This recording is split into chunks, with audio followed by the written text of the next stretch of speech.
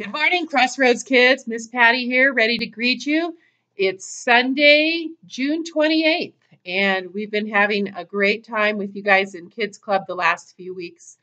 I just want to remind you that you can go uh, and online and have your parents uh, find the old, uh, old lessons, and you can watch them if you've missed any, and have a great time catching up. Uh, last week we finished up our stories from the Old Testament Actually, last week we used a couple stories that Pastor Bill was sharing in his first message back here at Crossroads. But before that, we had been sharing stories from the Old Testament as well. And so this week we're going to start off with a story from uh, the New Testament. Before that, though, I'd like to just remind you of some of the things that we've thought about the last few weeks. Let's see, we've thought about God being a God of power and a God of love and a God of helping. Let's see, can you remember any of the people he's helped in any of our stories? I remember he helped Daniel and he helped Shadrach, Meshach, and Abednego. And let's see, who did he help when they needed some fire to fall to, to uh, convince the prophets of Baal that God was all powerful? Was that Elijah? Yes. And he was the God of healing with Naaman. So there are some great stories that you can go back and listen to the stories and listen to the lessons, and you will be able to enjoy uh, doing some special activities and fun things if you haven't done these lessons already. So today we're going to jump into the New Testament, and as you know, the New Testament is the part of the Bible that tells about the life of Jesus and then how after Jesus went back to heaven, the church grew and developed, and God's um, teachings on how to live as a successful Christian. So we're going to be starting our New Testament part of the epic story. So as you listen to this story, think about who God is, who he says Jesus is, and some of the things that God wants us to listen to. So let's just get ready to jump right in to a very special story about Jesus. So this story is found in Matthew 3. So if you're a reader, it's never a bad idea to get your own Bible out and read that story in for yourself. But Matthew 3 is this is where this story is found. And this story starts taking place after Jesus grows up. You know, as Jesus grew up, he did a lot of things that little boys and girls did around that time of around the town of Galilee, where he grew up in the northern part of Israel. He spent time with his family, he learned how to speak the languages of the day, and I am sure he played with his friends and helped out at home, just like I'm sure you guys tried to do. Even though he was God's son, he still was a boy who grew up into being a man. Now, one of the people that Jesus probably played with was his cousin John. John was a few born just a few months earlier to Elizabeth and Zacharias. And uh, you might know that story from the Christmas stories that we share. But John was his cousin, and so it's possible that they grew up and played together. The Bible doesn't tell us that, but I know that a lot of us, if we live close by, play with our cousins. So John probably did that, and chances are that Jesus spent a lot of time with John. I wonder what kind of games they played. You think they played tag? Probably. That's a pretty popular game that's been around a very long time. Anyway, when John grew up, he became a preacher in the area around Jesus' hometown. However, John wasn't your normal preacher or teacher of God. He was considered a little different. He did a few things that were a little strange. First, John didn't live in town. He lived out in the wilderness, not in any city. And he wore scratchy clothes that were made out of camel hair. I have a picture here of a camel. And camels do not have soft hair. It's kind of scratchy. So you might not use camel hair as your first choice to wear. So, but anyway, that's what John did. He wore clothes made out of camel hair. The Bible talks about that. And then he also did something that was considered a little outdoorsy. He um, he ate bugs. The Bible says he ate locusts. And so there's a picture of a bug. Now, I'm not a bug eating fan. I know some of the, um, if your moms and dads watch those outdoor hunting shows, sometimes they talk about how you can eat bugs to survive if you get stuck out there.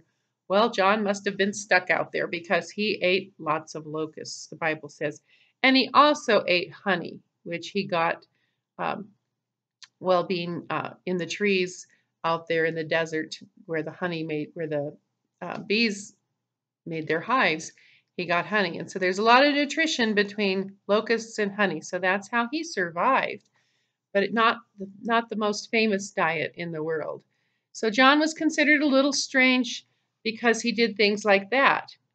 Now, however, even though he acted kind of strange, he still had something in him, in his heart, that made people want to come and see him and hear him preach.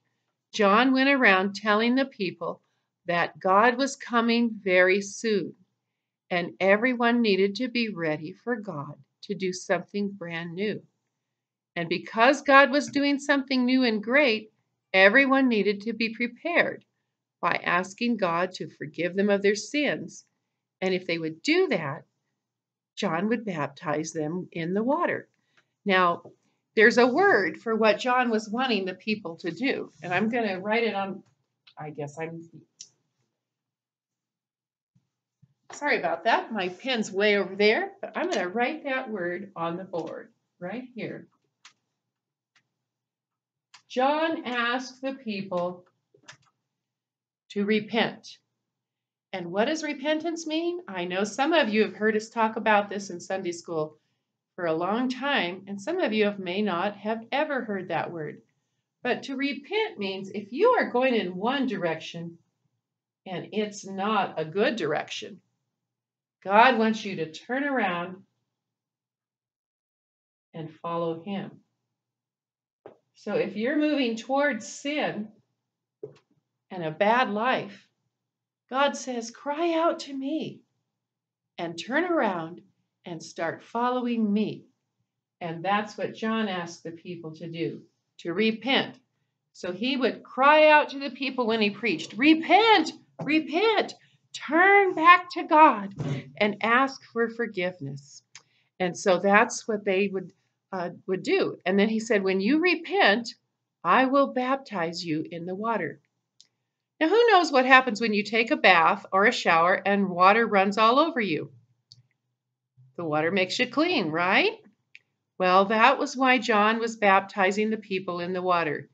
He wanted it to symbolize or represent that God has cleansed you when you ask for forgiveness of your sins. And that is why people were excited to hear John preach. They wanted to know a God who could forgive their sins. One day, Jesus came near to hear his cousin John preach and to see him baptize the people. When he told John that he wanted to be baptized by him, John tried to talk him out of it. After all, Jesus was a man, but he was also God's son. Do you think that John had some sense of who God, how special Jesus was after growing up from him? And maybe God revealed special things to John that we don't have written down in the Bible, but he knew, he had a real sense that Jesus was special. And so John didn't want to baptize Jesus. He said, I'm not worthy of that. You should be baptizing me. But Jesus knew that this was an important thing to do. And I believe God told him to do it. And so he asked John, You go ahead and you baptize me. There's a greater purpose in you doing it and in me obeying and being baptized. Well, when John baptized Jesus, something truly amazing did happen. As Jesus was coming out of the water, the sky opened up and something that looked like a dove came down. So I have a picture of a dove. And a lot of times in churches, you'll see doves on the walls as part of the symbols.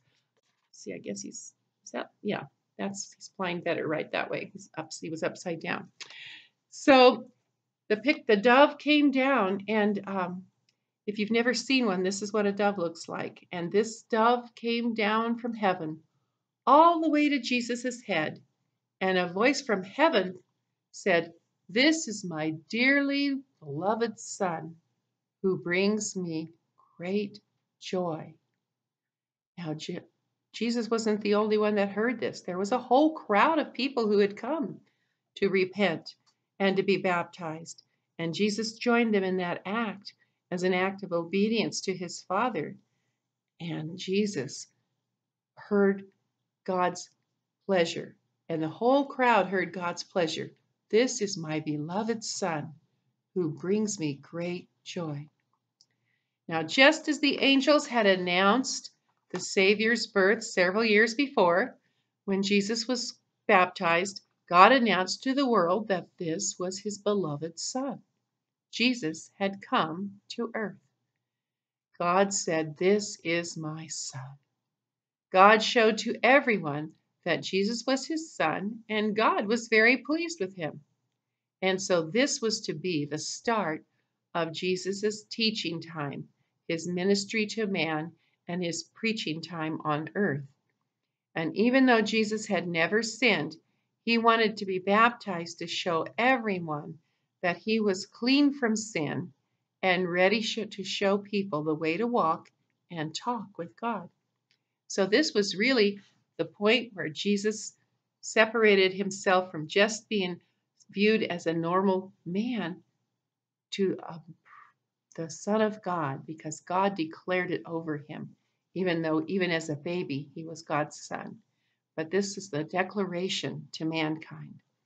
Jesus is the way that God had decided to reverse the troubles that were caused when Adam and Eve sinned at the start of the, our epic story. This is the way that God was providing a perfect way for man to repent from his sin and to start following God. At this time, when God opened up the sky and sent a dove like figure and spoke to a and spoke in a voice from heaven, God made it clear Jesus is my son, and he is to be the only way to God. Let's pray together for just a quick moment. Dear Jesus, thank you for sending uh, sending yourself. Dear God, thank you for sending Jesus to be a part of this story so that we can know you better. Help us to know how to know you better as we hear more and more about Jesus in your epic story in the weeks to come. In Jesus' name. Amen. Well, that was quite a story, the story of John the Baptist baptizing Jesus. Now, I wonder, um,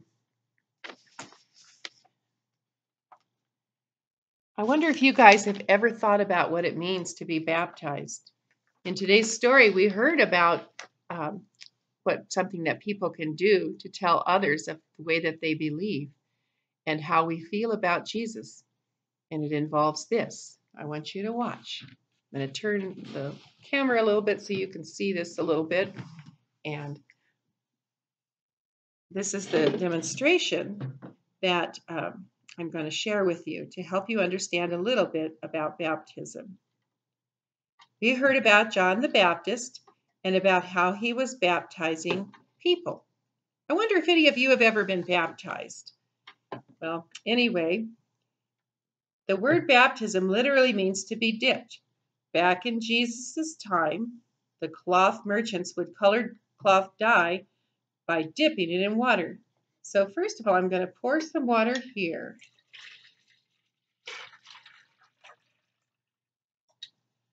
And we're going to view it kind of like the merchant did.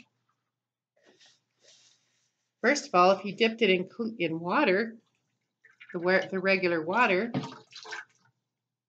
nothing changed. This cloth stayed white. But I'm going to put a little color, food coloring, in this other thing of water. And let it mix around.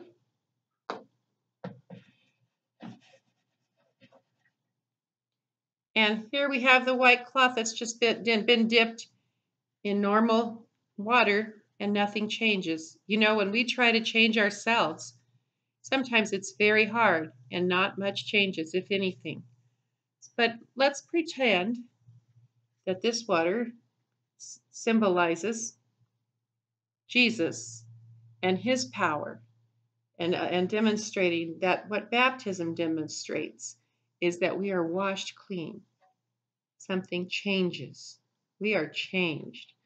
Now, if you look, we put our cloth in the baptism water that we made, and it is changed. You might not see that very well because I've got a blue shirt on too. But if you look at it, the towel is now blue instead of white. You see that? I hope you can. And you certainly can see that the water is blue and changed.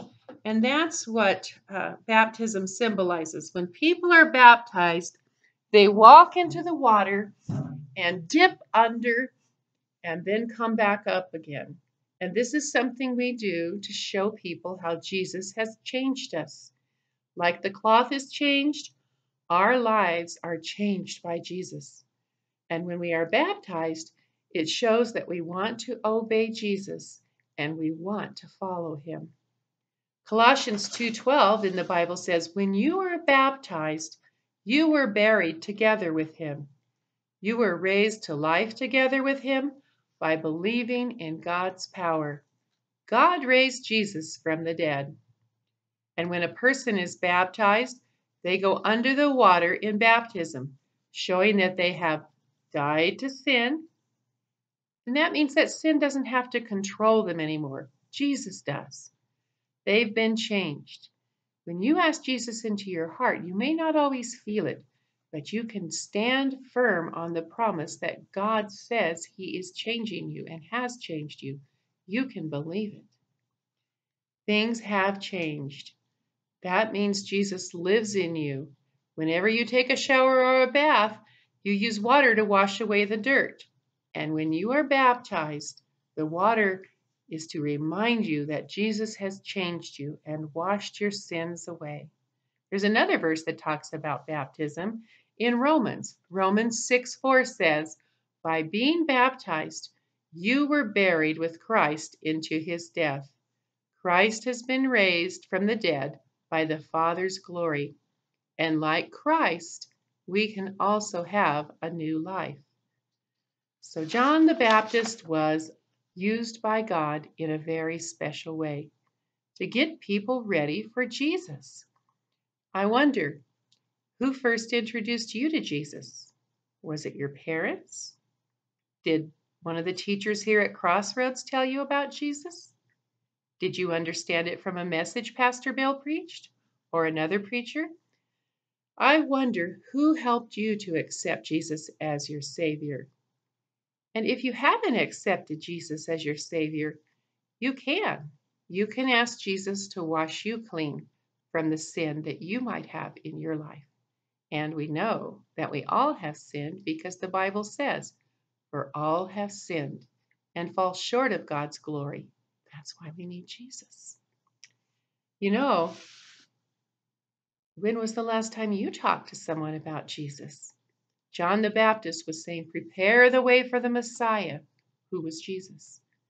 When was the last time you told somebody, I know a Savior who can change your heart, and He has changed mine?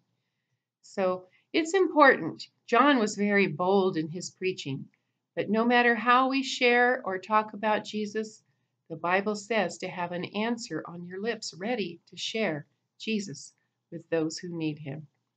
So the truth is, everybody's waiting to hear a little more about Jesus.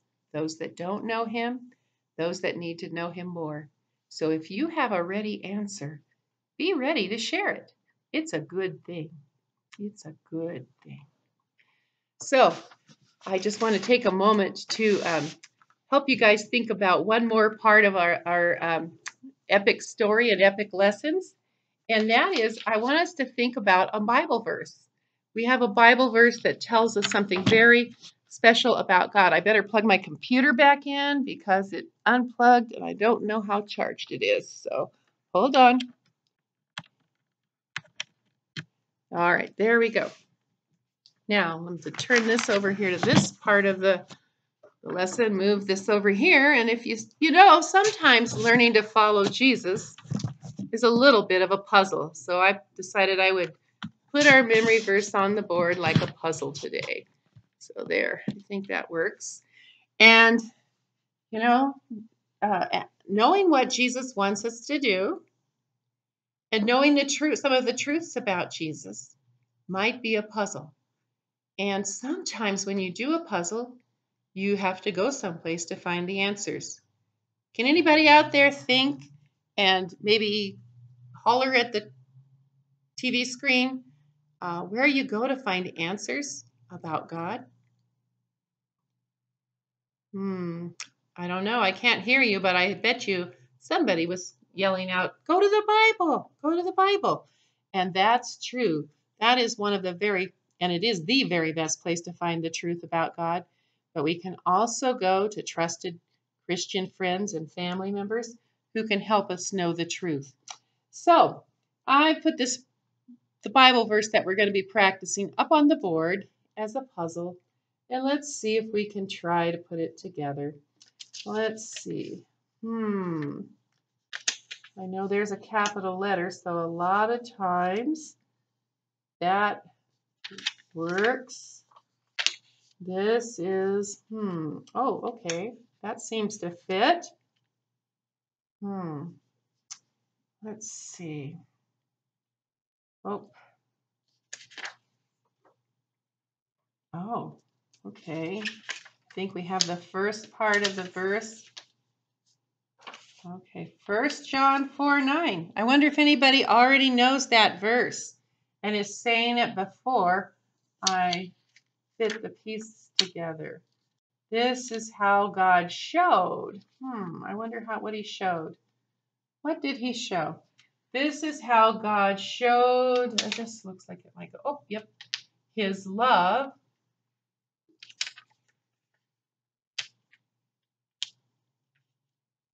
among us. He sent his one and only Son into the world that we might live through him. 1 John 4 9. Pretty cool, huh? This God took one of the answers, one of the puzzles that we might have a question about, and gave us a Bible truth, His truth, to give us an answer. God showed His love among us. He sent His one and only Son into the world that we might live through Him. 1 John 4 9. You know, when we heard our Bible story today, God said, This is my beloved Son, in whom I am well pleased, who brings me great joy. So, who was he talking about? He was talking about Jesus. This is how God showed his love. He sent his Son into the world that we might live through him. And then he tells us about that son. It is his one and only son that we might live through him. In other words, boys and girls, we take ourselves to Jesus and let him cleanse us from our sin. And then we can have the eternal life that the Bible promises by believing and following Jesus. You know, one of the questions we have is that Jesus asks us is, Who do you say that I am? And based on this story, I'm going to say that Jesus, you are the Son of God. You are Jesus, the Savior, the one and only Son, that we might have life. In other words, that we might be saved. So you are the Savior, you are the Son of God. And Jesus, I am so thankful for that. Well, boys and girls, do you believe me? That's another question Jesus asks.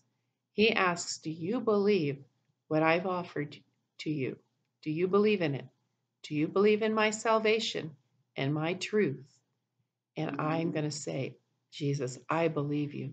Anytime I have a doubt, help my help my unbelief and help me to believe you and follow you more. Well, boys and girls, I hope you have a great week. I hope you enjoy doing some of the activities or coloring pages that are attached. If you can get to church at Crossroads, we're having services now, but if you're still at home, I pray that you will stay safe and that you will be listening to the lessons online and have a great week. Um, let's pray before we close. Dear Jesus, I thank you for this week. I thank you for this lesson. It's so exciting, Lord, to know how Jesus started his ministry. It's exciting to know that you were well pleased to send him out to tell men about yourself and about your coming salvation through Jesus. So, Lord, we, we praise you. We praise you for this epic story, which is just part of the big story of God's love for us. Help us to understand it more and more. And Lord, be with each of our boys and girls. We miss them terribly, but we are so excited that we are able to start gathering again. And we are praying for those who can't come out that they will be safe and encouraged in the days ahead, too. Thank you, Jesus. We love you. Amen. Well, you boys and girls have a great week. I think Miss Michelle is going to be teaching us next week, so we're looking forward to a great lesson from her, too. Have a great week.